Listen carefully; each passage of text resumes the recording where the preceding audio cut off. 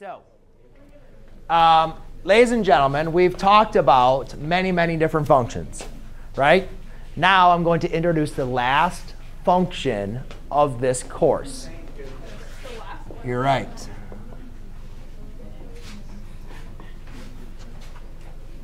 Okay? The last function we're going to deal with is what we call the reciprocal function. Okay? What you guys can notice is obviously this is the re, um, you could say reciprocal, like we have our identity function at 1 equals x, right? That's the reciprocal of our identity function. 1x, f of x equals x. This is f of x equals 1 over x. Um, so now what we need to do is we need to talk about how we're going to do this graph. All right? Now, when we looked at the other functions, I always said, ladies and gentlemen, you can always default. If you don't know how to graph something, you don't know what the parent graph is, we can always default by creating a table of values. Table of values. Very good.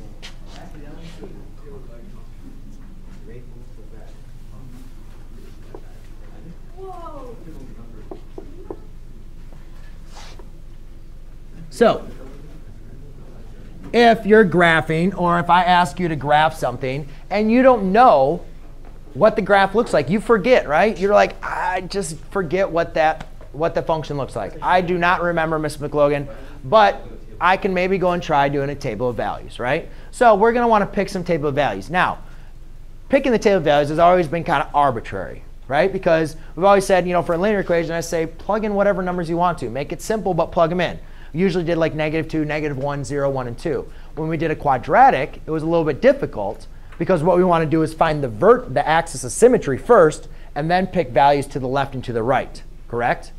And no, we also forgot to do, forgot to do absolute value. Forgot to put that up there. But anyways, absolute value was the same thing. You find the, the axis symmetry, then you pick values to the left and right. So it's always kind of arbitrary on what values you're going to pick. Now, we can pick like negative 2, negative 1, 1 and 2, and we will do that.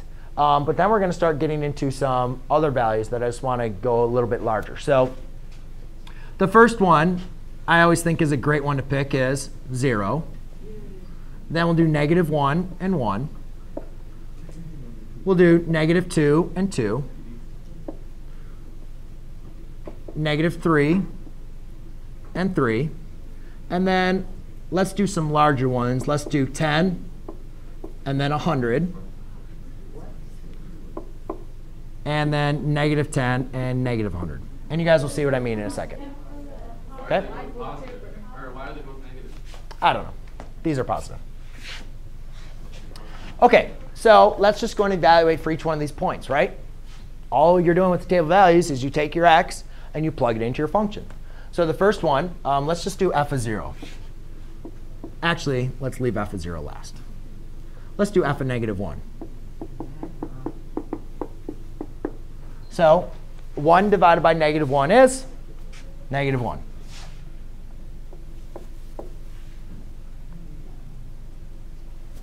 That's the first point, right? Let's do f of negative 2. So at negative 2, I'm at 1 half. Yes? Yeah. OK. Um, what about at f of negative 3?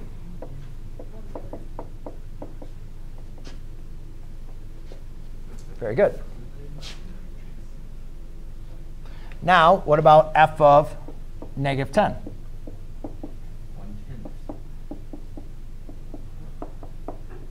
So that's getting even closer, right? And then we would do f of 100 is going to give us. Oh, no. How are you going to draw that? Don't do it. Don't. It's too much. I don't know. I never it All right. Now it looks like it's going to keep on getting closer and closer to zero. But ladies and gentlemen, if I keep on if I keep on picking larger and larger numbers, am I ever really going to divide? Am I actually ever going to get zero? No. Let's think about it. If I do 1 over a negative 1,000, does that give us zero? No, you guys can plug in your calculator and see. What about 1 over 10,000? Check it out. Plug in your calculator. See how close. It's going to keep on getting closer and closer to 0. But what we'll notice, guys, it's like taking this. Keep on taking 1 half, and then keep on dividing it by 2. Right? If you had a string and you kept on cutting it in half, are you ever going to get to 0?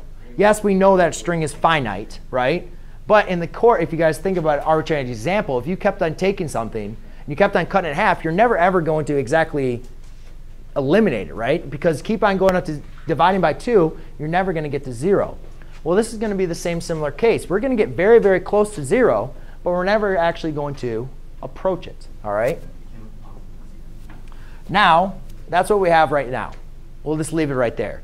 Now let's go to f of 0. So f of 0, guy, or I'm sorry, f of 1, we notice is going to be the exact same thing, but then it's just going to be positive. So we do positive 1. Or so let's plug these in. So negative 1 was negative 1. Negative 2 was negative 1 half. Negative 3 and negative 1 third. Negative 10 is negative 1 tenth. And negative 100 is negative 1 over 100. So when I do the positive values, I'm obviously going to get the positive value of the same thing. So this would be positive 1 half, 1 third, 1, oh, I'm sorry. That's 1. I don't know what that was, Alex. 1 third, 1 tenth, and 1 hundredth. So let's go over here. We're going to have 1 comma 1, 2 comma 1 half, 3 comma 1 third, and, oh, 10. That makes sense. 1, 2, 3, 4, 5, 6, 7, 8, 9, 10. My bad. We're not going to be able to graph 100. 1, 2, 3, 4, 5, 6, 7, 8, 9, 10. So at 10, we're looking at 1 tenth. Okay? Now, so, so far, ladies and gentlemen, if we're going to kind of plot, why this is so close?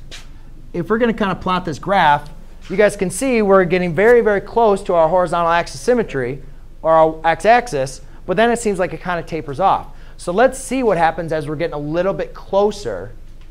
Let's see what happens when we get a little bit closer to 0. So let's try some new values. Let's do, um, how about let's pick negative 1 half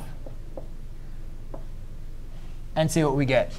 So if I do f of negative 1 half equals 1 over negative 1 half. Now we've practiced doing this. To get a fraction off the denominator, you have to multiply by the reciprocal. So at negative 1 half, I'm down 2.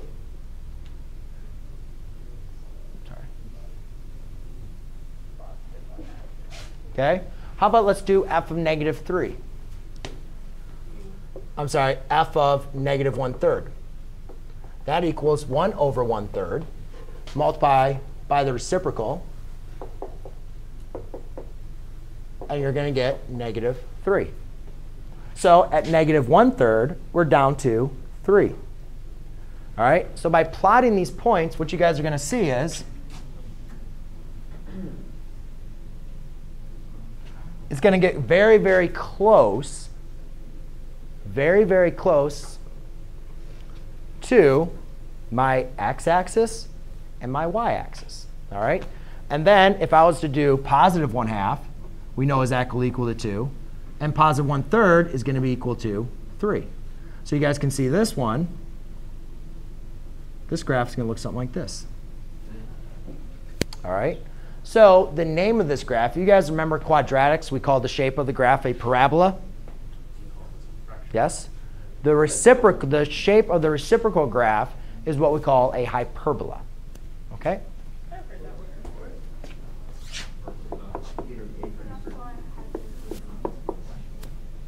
All right. Now, we still haven't examined, though, yet, what happens when we have 0.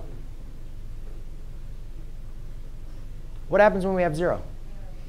Well, yeah, it's not going to be possible. Is it, is it possible for us to have f of x equals 0, or f of x and take 1 divided by 0? Can we divide 0 into a number?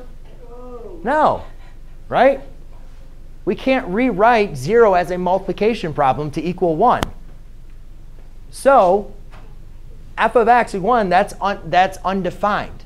And what I want you guys to understand is we need to understand two major important points here. The first major important point is that both of these graphs, they're getting closer and closer and closer to the y-axis, right?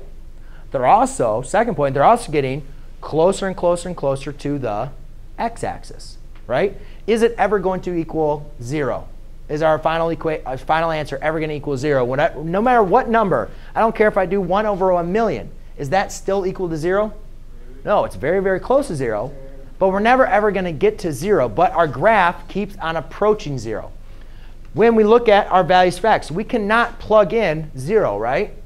We can't plug in 0. But can we plug in 0.000000001? Yeah, because that's not the value 0. Right? So what we also want to notice is our graph approaches our y-axis. All right? Now, so what does it mean when a graph approaches something, but it does not actually equal that value?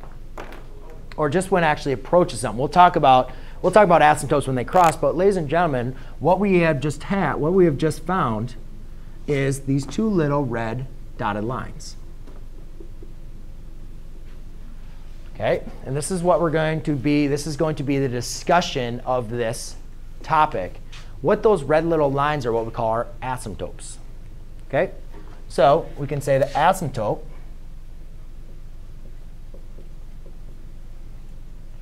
So we have two asymptotes. Asymptotes represent are like a line. We represent them with the dotted line because that, that's, they're not where the function is evaluated at, but they're where the function is approaching. All right? If you guys just want to think of an asymptote, an asymptote is simply defined as where your graph approaches. All right? So we look at our asymptote. We have two of them, x equals 0 and y equals 0. We know that the graph approaches the value of 0 for y, and it approaches the value of 0 for x. All right, now, what we've noticed, though, in this equation, do they ever equal 0? Do they ever equal 0 for x or 0 for y? No, right? So therefore, ladies and gentlemen, our domain is going to have some restrictions on it. So there's a couple ways we can write it. One way, we'll just deal with this. So now if I was going to do my domain, the domain of this function the domain for the other functions was pretty simple, right? It's either like all real numbers or there was a restriction positive and negative. The domain for this, you guys can see this goes on to infinity this way and it goes on to infinity that way. But the issue is there's one value where it cannot equal, right? What is the one value x cannot be? Zero. Zero. So you could say all real numbers, but x cannot equal zero. So we now have a restriction. It's not a set of numbers like negative numbers. It's not a set of numbers like positive, but now our restriction is just one single value. And then let's go and look at the range. So when looking at the range now, we can have all values going up this way, all values going up this way, but there's one, at, there's one output that we can never, ever have, which is going to be zero. zero, or which our graph approaches. So our range is going to be all real numbers where y cannot equal 0. Okay? And that is your basic introduction. Wow. 13 minutes.